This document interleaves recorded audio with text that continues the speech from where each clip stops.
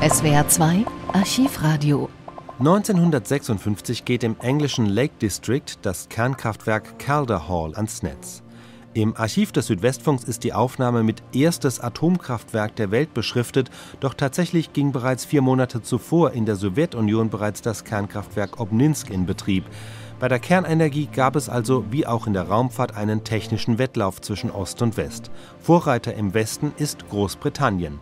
Die junge Königin Elisabeth II. höchstpersönlich ist dabei, als das Kraftwerk Calder Hall ans Netz geht. Deutschland ist vertreten durch Franz Josef Strauß. Der ist zwar eigentlich schon Verteidigungsminister, seine Amtszeit als Atomminister sollte schon zu Ende sein, aber das Spektakel in England will er sich nicht entgehen lassen. Deshalb hat er seine Urkunde als Atomminister noch behalten, obwohl sein Nachfolger bereits im Amt ist. Diese Verwicklungen erklärt er recht vergnügt am Schluss des Beitrags selbst.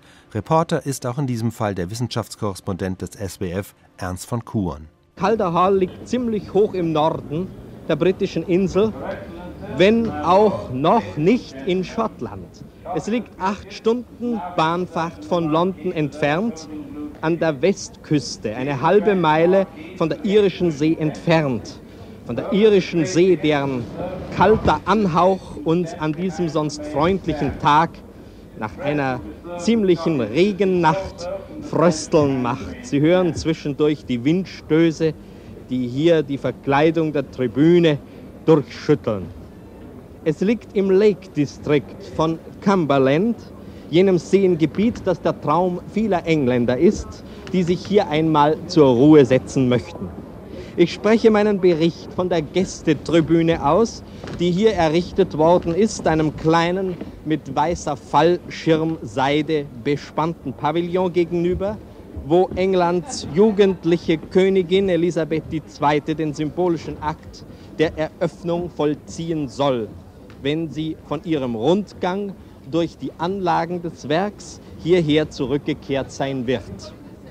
Königin Elisabeth ist ohne ihren Gemahl hier eingetroffen. Der Herzog von Edinburgh hat sich vor wenigen Tagen auf eine viermonatige Reise rund um die Welt begeben. Die Damen mag interessieren, wie die Königin an diesem Tag gekleidet ist. Sie trägt einen taillierten, dunkelblauen Samtmantel mit Hermelinbesatz an Kragen und Revers und eine dunkelblaue Kappe mit weißem Band. Der Königin sind hier eine Reihe von Gästen vorgestellt worden, ehe sie sich in das Verwaltungsgebäude begeben hat. Unter diesen Gästen war auch Franz Josef Strauß, der äh, bisherige Atomminister und nunmehr Verteidigungsminister. In der Pause nun in der Gelegenheit geboten ist, in einem Zelt sich zu stärken, in der wohl auch später konzertiert werden wird von einer Kapelle, die drüben Aufstellung genommen hat, einer Kapelle der 11. Husaren in weinroten Hosen und Mützen und weißem Lederzeug über dem schwarzen Rock. In dieser Pause nun möchte ich Ihnen das Werk beschreiben. Es handelt sich in Calder Hall um zwei Reaktoren, die etwa 180.000 Kilowatt abgeben werden, wobei rund 150.000 in das Energieversorgungsnetz Englands eingespeist werden sollen. Der erste Reaktor ist fertig. Er wird heute erstmals Elektrizität an das öffentliche Leitungsnetz liefern. Der zweite Reaktor, Spiegelbild groß, wird 1958 fertig sein. Aber sprechen wir von dem Reaktor, der fertig ist, dem Herz des Kraftwerks, wie es heute vor uns da liegt. Dieser Reaktor ist in einem fast 40 Meter hohen Gebäude. Er ist eingeschlossen in ein Stahlbetongehäuse, das von seiner Basis bis zur Decke, von der Decke aus wird der Reaktor beschickt, 27 Meter hoch ist. Die Betonwände um den Reaktor herum sind über zwei Meter stark. Ich bin den Weg, den die Königin in dieser Stunde nun macht, mit meinem Aufnahmegerät auch gegangen. Und so vermag ich Ihnen die lärmende Atmosphäre zu vermitteln, die dieses Kraftwerk erfüllt. Eisentreppen führen auf die Decke des Reaktors. Dort stehen vier mächtige Maschinen, fahrbar und gepanzert, die die Uranstäbe einführen, die den Uranofen beschicken bzw. die hochradioaktiv gewordenen verbrauchten Brennstoffeinheiten wieder zurückziehen, um nachladen zu können. Der atomare Brennstoff ist natürliches Uran, in der großen Hauptsache also Uran 238. Auf rund 140 Teile Uran 238 kommt ein Teil des aktiveren Uran 235. Der eigentliche Reaktor ist aus Graphitziegeln geschichtet. Ein Block, der von rund 1700 senkrechten Kanälen durchbohrt ist. Die, die Uranstäbe insgesamt sind es rund 130 Tonnen Uran aufzunehmen haben.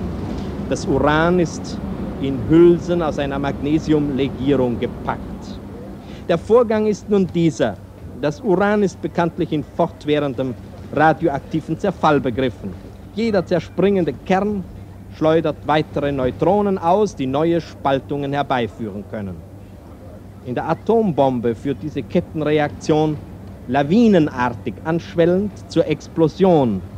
In Reaktor wird das atomare Feuer unter Kontrolle gehalten, so dass es gewissermaßen nur fortglimmt, der Fluss der Neutronen der Zerfall der Atomkerne und damit die entstandene, entstehende Hitze in den gesetzten Grenzen bleibt.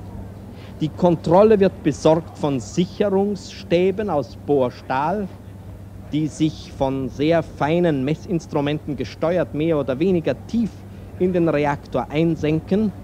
Auf je 16 Kanäle mit Uranstäben kommt ein Kanal, in dem so ein Sicherungsstab auf und abspielt.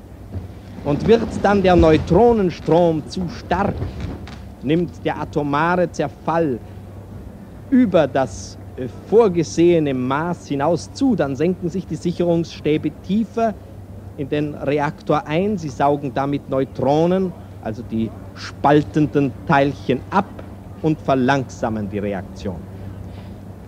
Erreicht diese Reaktion das vorgesehene Maß nicht, werden die Sicherungsstäbe weiter herausgezogen sodass mehr Neutronen, mehr Spaltungen im, Eu im Uran besorgen können. Die Graphitsiegel, die das Uran umgeben, reflektieren diese Neutronen in das zerfallbereite Material zurück. Sie bremsen gleichzeitig die Geschwindigkeit dieser Neutronen auf die beste Wirksamkeit ab.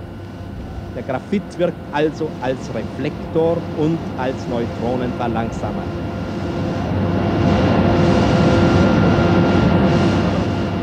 Uranstäbe sind übrigens mit Rippen umgeben, damit das an ihnen vorbeiströmende Kohlendioxid von der vergrößerten Oberfläche mehr Hitze aufnehmen und forttragen kann. In zwei Häusern stehen die Gebläse, die das Kohlendioxid in geschlossenem Kreislauf zirkulieren lassen. Das heiße Gas strömt dann aus dem Reaktorgebäude heraus durch mächtige Rohre die wir hier vor uns in hohe zylindrische schwarze Kessel führen sehen. Vier solche Kessel umstehen den Reaktor. Ein jeder ist mit farbig gestrichenen Treppen und Arbeitsplattformen umgeben, einer in Gelb, einer in Blau, einer in Grün, einer in Rot. Diese Kessel sind die Wärmeaustauscher. Hier wird die Hitze übergeben von dem Kohlendioxid. Man hat Kohlendioxid genommen, man hätte auch Helium nehmen können, das teurere Gas. Es muss eben ein Gas sein, das nicht reagiert im Uranofen, die also die Hitze übergeben vom Kohlendioxid an Wasser bzw. an Wasserdampf, der in den Rohrschlangen durch diese Wärmeaustauscher fließt. Und der überhitzte, hochgespannte Dampf trifft dann auf die Turbinen hier im Krafthaus vor uns. Da jagt die Turbinen auf ungefähr die gleiche Weise, wie es in den herkömmlichen Dampfkraftwerken geschieht. Der Dampf fließt dann zurück durch die beiden mächtigen Kühltürme, Bauwerke, die mit rund 100 Metern Höhe die ganze Anlage überragen. Die Königin hat ihren Rundgang beendet. Sie wird nun den kleinen Pavillon vor unserer Tribüne betreten und sie wird das Wort nehmen, ehe sie den symbolischen Hebel umlegt. I hope this occasion will be an inspiration and encouragement to all who will continue this exciting enterprise here and elsewhere. It is with pride that I now open Calder Hall, Britain's first atomic power. Ich hoffe, dass diese Gelegenheit Antrieb und Ermutigung sein wird für alle, die dieses erregende Unternehmen fortsetzen, hier und an anderen Orten, sagte die Königin. Es geschieht mit Stolz, dass ich jetzt Britanniens erstes Atomkraftwerk eröffne. Und dies war auch der Augenblick. Von jetzt ab liefert das Atomkraftwerk, das bisher ausschließlich für die Plutoniumwerke in Windscale arbeitete, mit voller Kraft laufend, vor allem in das öffentliche Netz. Dies war der Augenblick. Von jetzt ab geht ein Teil der Energie, die in England Maschinen treibt, aber auch Herdplatten erwärmt und Licht verbreitet, ist ein Teil dieser Energie von atomarer Herkunft. Auf dem Dach des Verwaltungsgebäudes ist eine große Messuhr für diesen Tag errichtet. Der Zeiger dreht.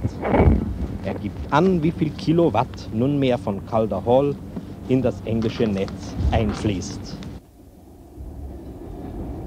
Im fahrenden Zug von Calder Hall nach London zurück treffe ich den Atomminister Franz Josef Strauß. Er hat mir erlaubt, mich zu ihm zu setzen und ich weiß nicht, seit gestern glaube ich, Herr Minister, sind Sie ja Verteidigungsminister. Sind Sie nun noch Atomminister oder sind Sie beides? Zurzeit gibt es zwei Atomminister. Nämlich erstens mich, da ich meine Ernennungsurkunde zum Atomminister noch in meinem Besitz habe. Ja. Zweitens den Bundesminister Dr. Siegfried Balke, der gestern seine Ernennung zum Atomminister in Form einer Urkunde ausgehändigt bekommen hat. Wie mir mitgeteilt worden ist, soll meine Ernennung zum Bundesminister für Verteidigung durch den Bundespräsidenten morgen Nachmittag oder Abend erfolgen. Ab dann gibt es noch einen Atomminister. Ja, also Sie haben die Urkunde nicht in Händen. Wie hab- haben Sie es denn übermittelt bekommen überhaupt? Ich wusste, dass es gestern Abend erfolgen sollte. Ich wollte aber auf alle Fälle die Einladung der englischen Regierung zu der Eröffnung des ersten großen Atomkraftwerkes der Welt annehmen und konnte deshalb zu der Stunde, wo die Urkunden in Bonn ausgehändigt wurden, nicht mehr anwesend sein. Was sagen Sie zu diesem ersten großen Atomkraftwerk? Was haben Sie für Eindrücke gehabt?